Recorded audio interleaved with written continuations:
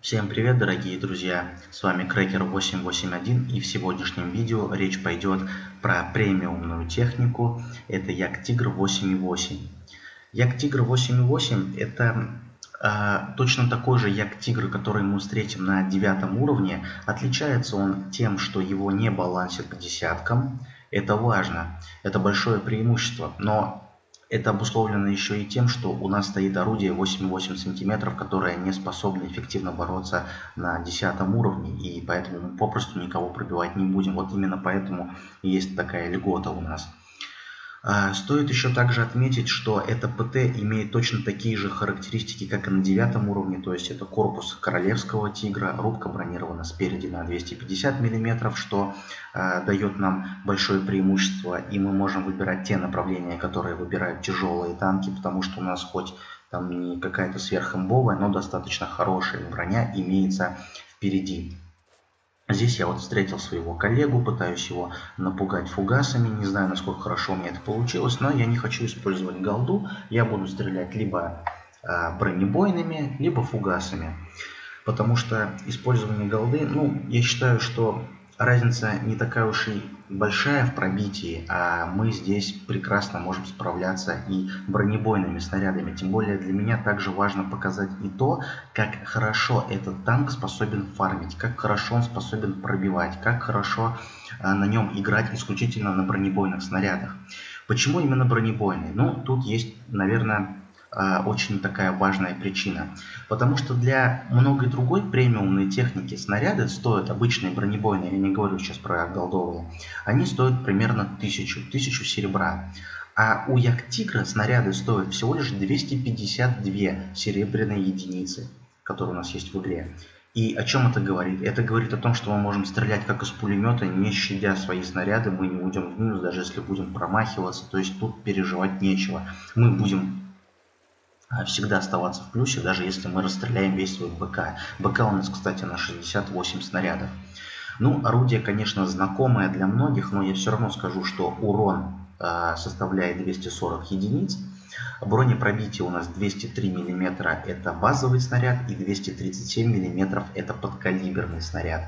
Урон в минуту 2666 единиц. Теперь, сведение. Это очень важно. Сведение всего лишь 2 секунды. Достаточно комфортное сведение и разброс всего лишь 0.31. То есть мы можем на большой дистанции выцеливать ну, чуть ли не каждый пиксель на вражеском танке и просто иногда снаряд летит прям вот точно в цель. Даже не иногда, я бы сказал, часто. Поэтому, конечно, ПТшить на этой э, ПТшке очень удобно. Это вот прям вот для тех, кто любит точность. Ну, правда, урон маленький, но зато ты всегда попадаешь, нежели там, если ты будешь стрелять на полтысячи, но снаряд неизвестно попадет или не попадет при полном сведении, да еще и в упор. Прочность нашего танка 1300 единиц. Корпус у нас бронирован 250 миллиметров. Это лобовая деталь, ну, то есть это лоб его, ну, за исключением НЛД. Нижняя лобовая деталь у нас бронирована, ну, так себе. В общем, пробивает нас туда все, об этом даже говорить не стоит. А все остальное у нас 80 миллиметров. Это я говорю про борта и корму. Масса нашего танка почти 70 тонн, мощность двигателя 700 лошадиных сил, удельная мощность 10,5 лошадей на тонне.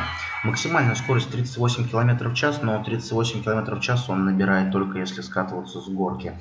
Так он там на каких-то там, не знаю, даже на прямом отрезке пути он просто не разгоняется до такой скорости. Это я не, не знаю почему так. Базовый обзорность 390 метров, дальность связи 710 метров. Ну, это если вдруг кому интересно. В этом бою я вообще не рассчитывал, что у меня получится что-то более-менее такое вменяемое настрелять, потому что я растерял все свои очки прочности уже на середине, но хорошо, что попались на середине боя. Но хорошо, что попались хорошие союзники, которые давали и подсвет, и сами там не боялись, ехали вперед. В общем, с такими союзниками было приятно поиграть, и попадались бы они вот в каждом бою.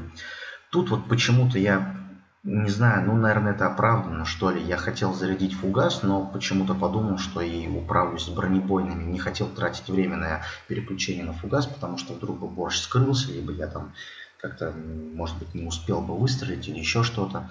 Ну вот поэтому я оставил, как и было задумано изначально, бронебойные снаряды и стреляю вот только бронебойными. Тут, как вы видите, маркер желтый, это значит я либо пробью, либо не пробью. И вот тут я надеюсь на удачу, что может быть, а вдруг залетит. Ну, конечно, никуда он там не залетает, снаряды отскакивают, да и противник мансует постоянно. Поэтому что-то там его выцелить и сделать какой-то точный выстрел не совсем получается. Но это точное орудие, и поэтому, если бы у меня было орудие какое-то похуже, я бы, возможно, вообще бы даже не попадал по нему. А так хотя бы есть попадание. Мы видим, что мы проигрываем по очкам прочности, поэтому тут я уже смирился с поражением. Но, как я уже говорил, а, наши союзники молодцы. А у нас самый лучший союзник для нас – это ошибка врага. Вот что сейчас делает Першинг. Першинг просто отдается мне, отдается за бесплатно. Я не знаю, почему вот он решил так разворачиваться. Он бы лучше отъезжал как-то передом за камень или, я не знаю, или боком как-то. Ну, в общем, совершает массу ошибок, но и тут плюс мне еще везет то, что я не промахнулся, мог бы попасть вообще в камень. Тут я замечаю як тигра, но замечаю я его здесь немножко поздно, мог бы выстрелить раньше. Ну, забегая немного вперед, скажу, что больше я здесь не сделаю никаких полезных выстрелов. По-моему, даже вообще... Нет, я здесь вообще не выстрелю больше. Вот у меня остался единственный бронебойный снаряд. Вот, так, вот он у меня тут так и останется. Больше я не выстрелю. Тут я под, хотел поехать на захват базы, но немножко поздно я спохватился, да хотя это было уже и не обязательно. Но, в общем, отыграв несколько десятков боев на этой ПТшке, я могу с уверенностью сказать, что если нас балансит к девятым уровням, к десяткам мы не попадаем, а вот к девяткам мы попадаем ну, достаточно часто, то просто важно выбрать направление, куда вы поедете. Не нужно ехать а, прямо вот туда, где будут все тяжелые там или там ПТшки там девятого уровня. Старайтесь ехать к своим одноклассникам, либо тем, кто помладше. Потому что если вы поедете на этой ПТшке к танкам, которые 9 уровня, ваша броня не будет решать вообще ничего, вас будут пробивать все. А ваши орудия не позволят адекватно отвечать на агрессию, которую проявит к вам противник, потому что вы либо не пробьете, а если пробьете, то нанесете крохотный урон. Важно выбирать правильное направление туда, где ваша броня будет что-то решать, и туда, где ваше орудие сможет пробивать. Вот лично я всегда старался придерживаться этой тактики. Если вам понравилось видео, ставьте лайк и подпишитесь на мой канал, мне будет это приятно. Всем спасибо за просмотр, удачи, пока!